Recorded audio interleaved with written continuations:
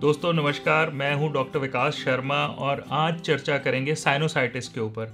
विशेष रूप पे चर्चा करेंगे क्रॉनिक साइनोसाइटिस के ऊपर कि साइनोसाइटिस बार बार क्यों होता है और बहुत लंबा क्यों खिंचता है। और दोस्तों, क्या कारण होते हैं जिसके कारण एक नॉर्मल साइनोसाइटिस क्रॉनिक साइनोसाइटिस में कन्वर्ट हो जाता है? दोस्तों क्रॉनिक साइनोसाइटिस हम बोलते हैं जब कोई भी साइनोसाइटिस यानी कि साइनस की इन्फ्लामेशन तीन महीने से ज़्यादा चलती है। दोस्तों, अक्सर देखा गया है कि लोग एक एंटीबायोटिक का कोर्स करते हैं साइनोसाइटिस को ट्रीट करने के लिए। पंद्रह दिन, महीना, दो महीने ठीक रहते हैं, दोबारा से साइनोसाइटिस आ जाता है। दोस्तों, बहुत बार हम देखते हैं कि पेशेंट्स अपने साइनसिस को ट्रीट करने के लिए उसकी ड्रेनेज सर्जरी करवाते हैं। ड्रेनेज सर्जरी का मतलब होता है कि जो साइनसिस के अंदर डिस्चार्जेस हैं या बलगम है, उसको निकालने के लिए उसको ड्रेन करवाते हैं। दोस्तों ये ट्रीटमेंट भी बहुत ज़्यादा सक्सेसफुल नहीं होता और साइनोसाइटिस फिर दोबारा से आ जाता है। दोस्तों, आखिरकार क्यों एंटीबायोटिक्स और ड्रेनेज सर्जरी बार बार फेल होती हैं? दोस्तों, उसके पीछे सबसे बड़ा कारण ये होता है कि ये दोनों चीज़ें बेस पे जो प्रॉब्लम है, उसको पकड़ नहीं पाती, जो कोर पे प्रॉब्लम है, जो जड़ है, उसको पकड़ नहीं पाती हैं। दोस्तों, वो जड़ होती है नेज़ल एलर्जी नाक की एलर्जी दोस्तों, नाक की एलर्जी के कारण कॉन्स्टेंटली हमारी जो म्यूकस मेम्ब्रेन है, नाक की लाइनिंग है साइनसिस की लाइनिंग है, वो ज़्यादा बलगम म्यूकस प्रोड्यूस करती रहती हैं। जिसके कारण जो साइनसिस की ड्रेनेज होती है, वो ठीक से हो नहीं पाती और वहाँ पर डिस्चार्जेस कलेक्ट हो जाते हैं, जिसके कारण साइनोसाइटिस होता है। दोस्तों होम्योपैथिक मेडिसिन बहुत इफ़ेक्टिव होती हैं साइनोसाइटिस को ट्रीट करने के लिए स्पेशली क्रॉनिक साइनोसाइटिस को ट्रीट करने के लिए। और उसके पीछे सबसे बड़ा कारण ये होता है कि होम्योपैथिक मेडिसिन बेस पे, जड़ पे जो एलर्जी है नीजल एलर्जी है, उसको बहुत इफेक्टिवली ट्रीट कर पाती हैं। तो दोस्तों आगे चर्चा करते हैं कि साइनोसाइटिस क्या होता है। साइनोसाइटिस कैसे क्रॉनिक साइनोसाइटिस में डेवलप हो जाता है। नेजल एलर्जीज को कौन सी दो होम्योपैथिक मेडिसिन हैं जो बहुत अच्छे से ट्रीट कर सकती हैं। दोस्तों, इन सब विषयों के ऊपर आज हम विस्तार पूर्वक चर्चा करेंगे। दोस्तों, आइए अब चर्चा करते हैं कि साइनसिस क्या होते हैं। दोस्तों साइनसिस हमारी स्कल के अंदर खाली स्पेसेस होती हैं। चार जोड़े होते हैं खाली स्पेसेस के फ्रंटल एथमोइडल स्फिनोइडल और मैग्जलरी दोस्तों ये हमारे नाक के साथ अंदर से कनेक्टेड होते हैं और इनके अंदर उसी तरह की लाइनिंग होती है जिस तरह की नाक के अंदर होती है।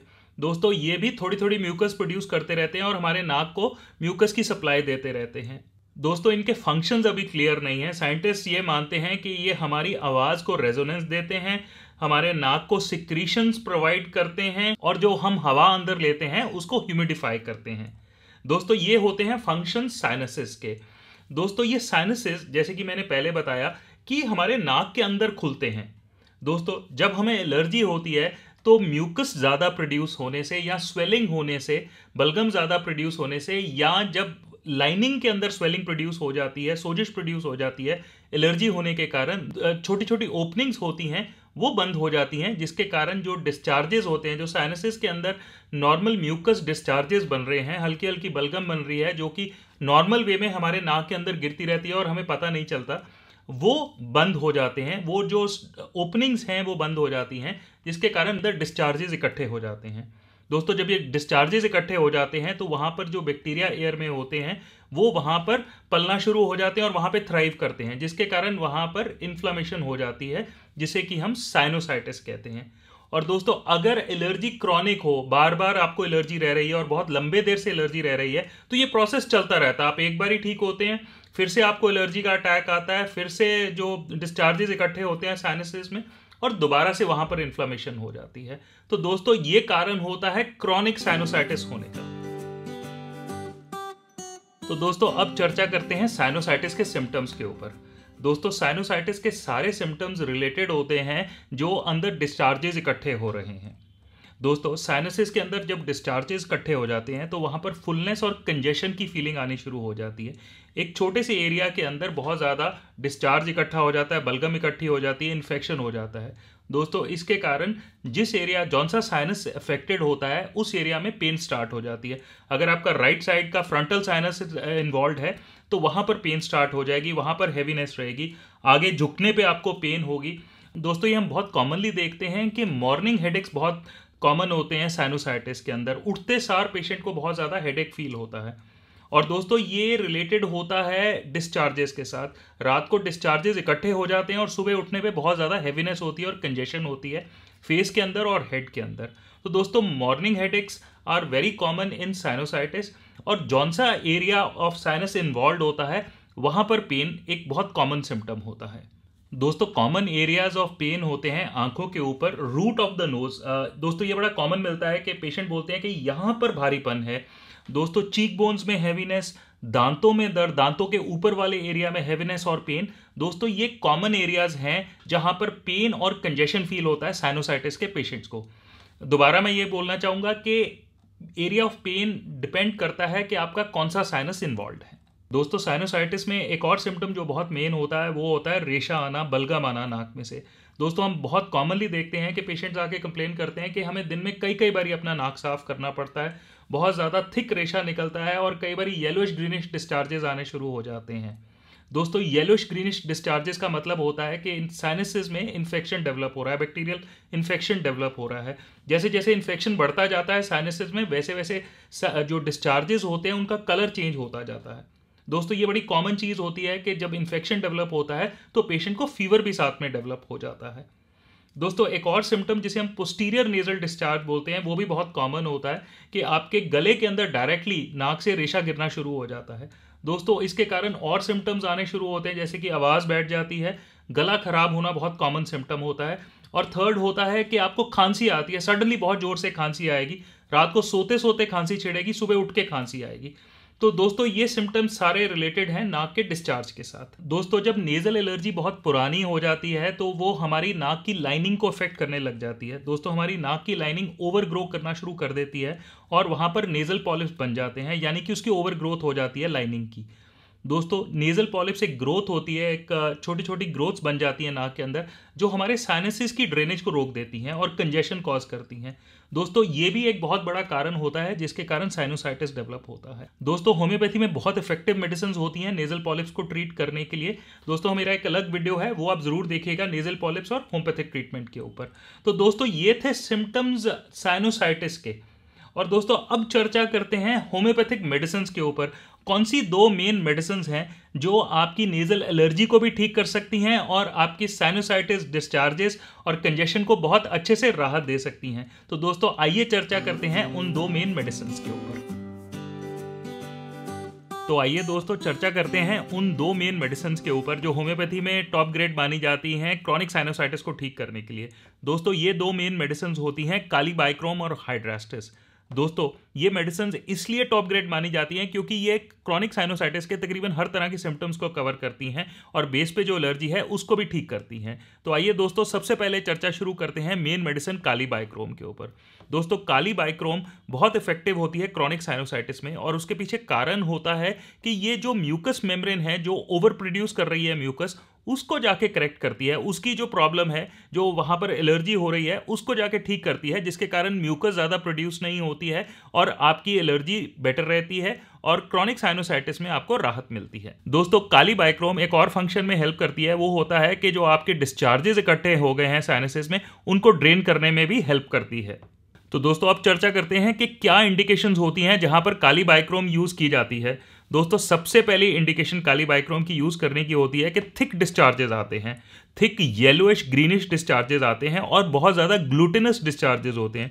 दोस्तों, हम ग्लूटिनस बोलते हैं कि बहुत ज़्यादा स्टिकी डिस्चार्जेस होते हैं। पेशेंट को क्लीन करने में बहुत प्रॉब्लम आती है। दोस्तों, अगर पेशेंट अपना नाक ब्लो करता है और वॉश बेसन में वो म्यूकस गिरती है तो उसको साफ़ करने में बहुत टाइम लगता है, बहुत ज़्यादा पानी लगता है। ये एक बड़ी इंपॉर्टेंट इंडिकेशन होती है काली बाइक्रोम को यूज़ करने के लिए thick yellowish greenish glutinous discharges यानी कि चिपकने वाले डिस्चार्जेस दोस्तों, वैसे तो काली बाइक्रोम आप किसी भी साइनस की इन्वॉल्वमेंट में यूज़ कर सकते हैं। इसका मतलब ये है कि अगर आपको फ्रंटल साइनोसाइटिस इन्वॉल्व है मैग्जिलरी है स्फिनोइडल है एथमोइडल है, कोई भी आपका साइनस इन्वॉल्व है, वहाँ पर काली बाइक्रोम इक्वली इफ़ेक्टिव होती है। पर मैंने देखा है, अपनी प्रैक्टिस में और टेक्स्ट बुक्स में भी लिखा गया है कि फ्रंटल साइनस की इन्वॉल्वमेंट में काली बाइक्रोम ज़्यादा बेटर वर्क करती है। दोस्तों फ्रंटल साइनसिस बोलते हैं जो हमारे आँख के ऊपर वाले एरिया होते हैं, यहाँ पर जो साइनसिस होते हैं स्कल में, अगर इनकी इन्वॉल्वमेंट ज़्यादा होती है तो काली बाइक्रोम ज़्यादा हेल्पफुल होती है। दोस्तों, एक और सिम्टम जो हम क्रॉनिक साइनोसाइटिस में बहुत अक्सर देखते हैं, जैसे कि मैंने पहले भी डिस्क्राइब किया कि रूट ऑफ़ द नोज़ पे बहुत ज़्यादा हैवी फीलिंग होती है। तो दोस्तों, यहाँ पर भी काली बाइक्रोम बहुत हेल्पफुल होती है। दोस्तों ऑब्स्ट्रक्शन ऑफ़ द नोज़ यानी कि आपका नाक बंद रह रहा है और बहुत थिक डिस्चार्जेस निकल रहे हैं, यहाँ पर भी काली बाइक्रोम नाक की कंजेशन को रिड्यूस करने में बहुत हेल्प करती है। दोस्तों पॉलिप्स की ओवर ग्रोथ में भी अगर पॉलिप्स बन रहे हैं, वहाँ पर भी काली बाइक्रोम बहुत हेल्पफुल होती है। दोस्तों, एक और सिम्टम जो हम काली बाइक्रोम में देखते हैं, वो होता है एनोस्मिया अगर क्रॉनिक साइनोसाइटिस बहुत देर रह चुका है, बहुत सालों साल चल चुका है, बहुत महीने चल चुका है, और म्यूकस मेम्ब्रेन्स बहुत ज़्यादा म्यूकस प्रोड्यूस करती हैं तो दोस्तों, वहाँ पर एक फीचर जो हम बड़ा कॉमनली देखते हैं, वो होता है कि लॉस ऑफ़ स्मेल पेशेंट कहते हैं कि मुझे स्मेल नहीं आती आती है तो बहुत कम आती है। दोस्तों टेस्ट भी कई बार चले जाता है साथ में। तो दोस्तों, यहाँ पर काली बाइक्रोम बहुत हेल्प होती है लॉस ऑफ़ स्मेल में। एक सिम्टम और जो बहुत इंपॉर्टेंट होता है काली बाइक्रोम में, और वो हम क्लिनिक में भी देखते हैं, कई बार पेशेंट हमारे सामने बैठे बैठे वो सिम्टम एग्जिबिट करते हैं। दोस्तों, वो होता है कि पेशेंट बहुत ज़्यादा बलगम खींचते हैं, जिसे हम हेमिंग एंड हॉकिंग बोलते हैं म्यूकस की। दोस्तों, वो उसका मेजर रीज़न ये होता है कि जब साइनसिस में से डिस्चार्ज गिरता है और बहुत थिक डिस्चार्जेस होते हैं, जैसे कि मैंने पहले डिस्क्राइब किया, और ग्लूटनस होते हैं और स्ट्रिंगी होते हैं मतलब लंबी लंबी धागों में खींचते हैं लंबे लंबे रोप्स में खींचते हैं रोपी डिस्चार्जेस होते हैं। दोस्तों, इसके कारण पेशेंट को वो डिस्चार्जेस खींचने पड़ते हैं, चिपकते हैं गले में, और इसके कारण बहुत ज़्यादा हॉकिंग होती है, उसको खींचने पड़ते हैं वो डिस्चार्जेस तो दोस्तों, यहाँ पर काली बाइक्रोम बहुत हेल्पफुल होती है। तो आइए दोस्तों, अब चर्चा करते हैं कि काली बाइक्रोम की यूज़ कैसे कर सकते हैं आप घर बैठे। दोस्तों, काली बाइक्रोम 30 सी आप यूज़ कर सकते हैं वंस अ डे या ट्वाइस अ डे और अगर आपको बहुत ज़्यादा क्रॉनिक साइनोसाइटिस है तो आप 200 सी पोटेंसी ले सकते हैं वंस अ डे या वंस एवरी ऑल्टरनेट डे ले सकते हैं। दोस्तों, मेरी सलाह रहेगी कि आप अपने होम्योपैथिक डॉक्टर से एक बारी चर्चा ज़रूर कर लीजिएगा बिफोर कि आप ये मेडिसिन लें। तो दोस्तों, आगे चर्चा करते हैं हाइड्रास्टिस के ऊपर। दोस्तों हाइड्रास्टिस एक बहुत इंपॉर्टेंट मेडिसिन है होम्योपैथी में क्रॉनिक साइनोसाइटिस को ट्रीट करने के लिए। दोस्तों हाइड्रास्टिस को यूज़ करने के लिए जो मेन इंडिकेशन होती है, वो होता है पोस्टीरियर नेजल डिस्चार्ज दोस्तों, अगर आपको साइनोसाइटिस के सिम्टम्स के साथ आपको गले में रेशा गिरने की प्रॉब्लम बहुत ज़्यादा है तो वहाँ पर हाइड्रास्टिस बहुत इफ़ेक्टिव होती है। दोस्तों पेशेंट को कॉन्स्टेंटली अपना गला क्लियर करना पड़ता है, क्योंकि बलगम जो है, वो कॉन्स्टेंटली गिरती रहती है नाक के पीछे से गले के अंदर।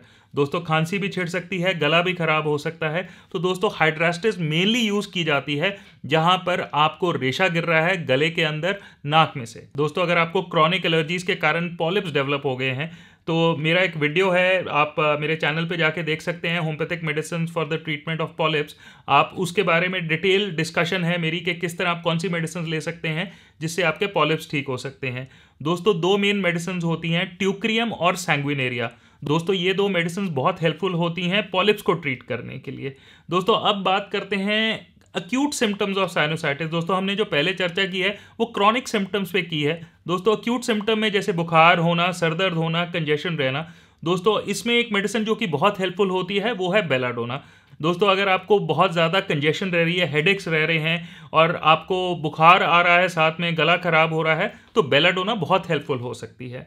दोस्तों बेलाडोना एक शॉर्ट एक्टिंग मेडिसिन होती है और अगर आपको सिम्टम्स ऑफ़ हैवीनेस है कंजेशन है और हेडेक हो रहा है तो दोस्तों आप बेलाडोना थर्टी दिन में तीन चार बारी ले सकते हैं अपनी कंजेशन और हैवीनेस को रिड्यूस करने के लिए। तो दोस्तों, ये थी चर्चा हमारी homeopathic medicine for chronic sinusitis दोस्तों, अगर आपको कोई क्वेरी हो तो आप हमारी क्लिनिक में कॉल कर सकते हैं, या आप हमें ईमेल कर सकते हैं Vikas at doctor homeo dot com पर दोस्तों, आप हमारी website W W W doctor homeo dot com पर भी जा सकते हैं और अपनी क्वेरी छोड़ सकते हैं। तो दोस्तों, अगले वीडियो तक के लिए नमस्कार।